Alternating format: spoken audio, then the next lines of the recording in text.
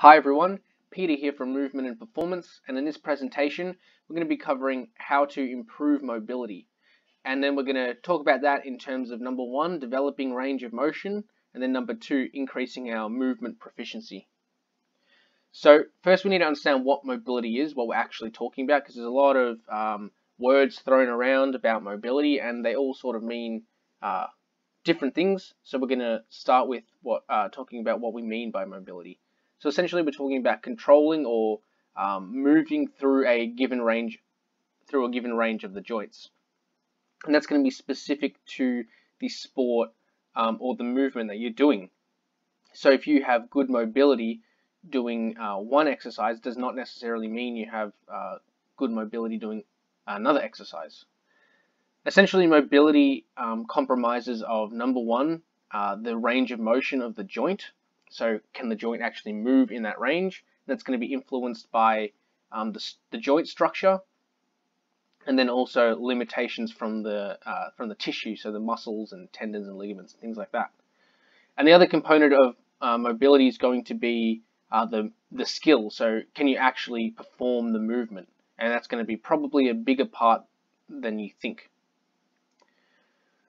So before we actually get into how to improve mobility, let's talk about the importance of mobility. So essentially, as we mentioned, mobility is specific to the movement or sport that you're doing. So for example, a snatch versus uh, sprinting, both of them require mobility in different ways. Um, and because you have good mobility in one of those, in a snatch, does not necessarily mean you can um, you have good mobility in sprinting. So you probably don't need to actually improve mobility if you can already perform um, the given movement adequately and you can control that range. But if you cannot control that range or cannot even get into that range, then you probably need to improve your mobility. So for example, in this uh, uh, picture of a sprinter, you can see we have one leg that's fully extended, the ankle, knee, and the hip, while the other one's basically uh, flexed at the ankle, knee, and hip. So that that mode, that sort of position is different to something like we had in this picture of the snatch, where this is complete flexion of both hips and sitting into an overhead squat.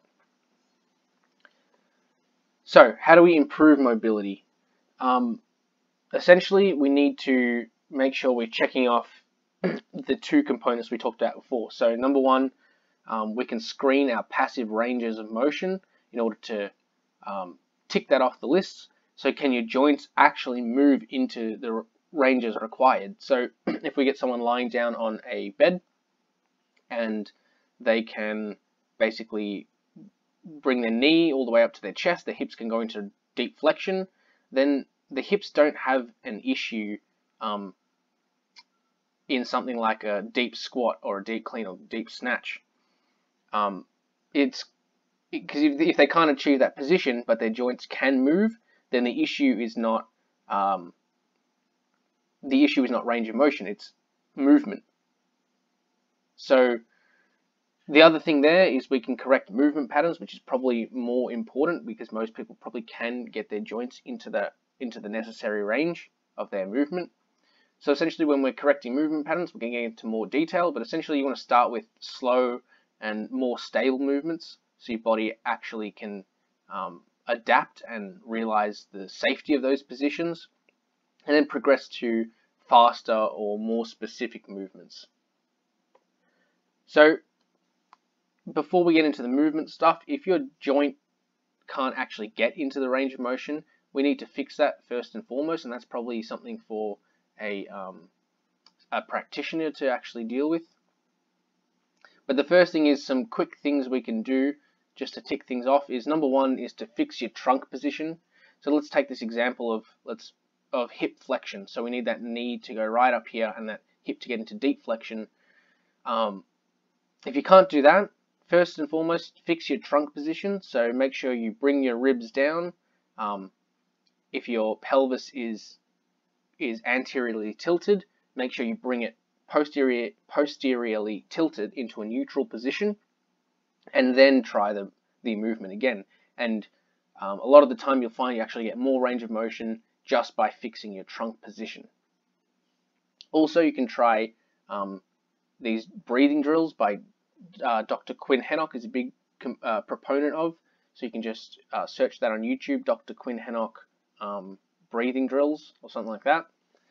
And there's a lot of good breathing drills which basically get your trunk into a proper position, get your core working, and a lot of the time that really significantly impacts your range of motion.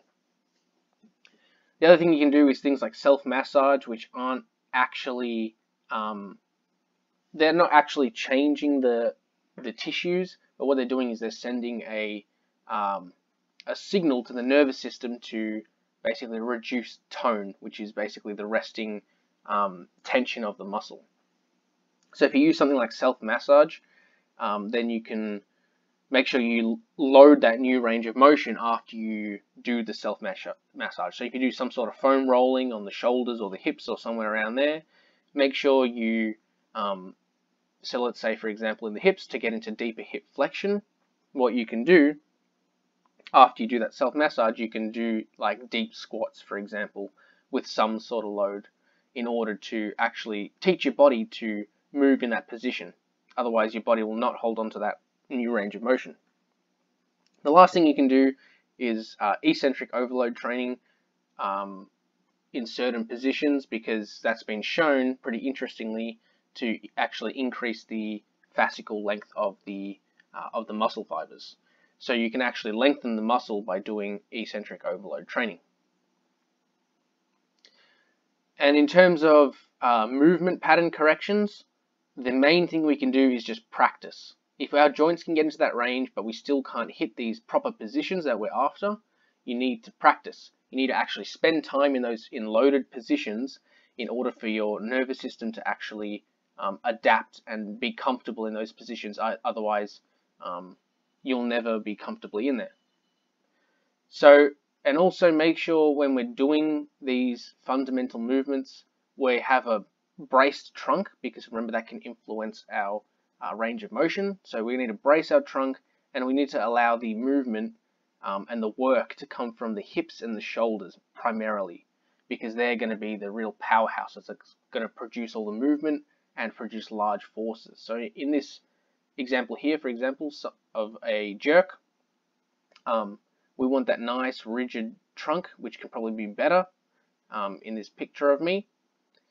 And then we get the hips to actually to be the ones that are moving and the shoulders while that trunk stays um, braced. And that's going to allow um, basically your joints to actually move more freely. So that's it for this presentation guys. Thanks for watching and hopefully you got something out of it um, you can follow movement and performance on Facebook and on Instagram and if you haven't already Make sure to subscribe on YouTube for the, to stay up to date with the latest informative content.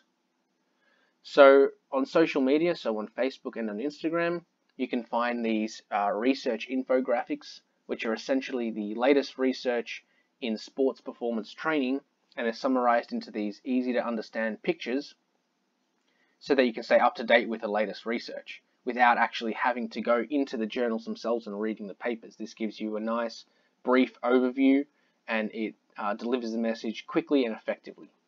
So thanks for watching guys. Hopefully you got something out of this video.